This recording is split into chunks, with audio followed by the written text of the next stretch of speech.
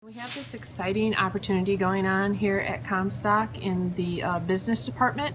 Um, I have been able to register Comstock High School as a Microsoft Office Specialist certification site. What I'm having the students do is they register for the dual enrollment class at, um, through KVCC and they're going to take the Excel 1 and the Excel 2 courses. And the objectives that are taught in that curriculum are all of the same things that are actually tested by Microsoft um, in their certification exam. So the students go through the 18 weeks of all of the tutorials that are kind of self-paced through an online tutorial classroom and extra instruction I give during the semester. And then when it comes time for exam week, I actually can waive the fee in um, for the certification and I can give them three free testing.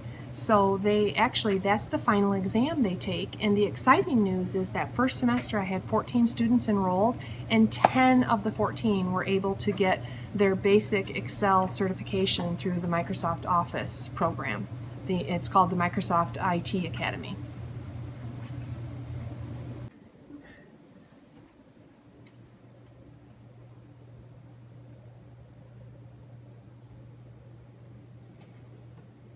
anybody need me?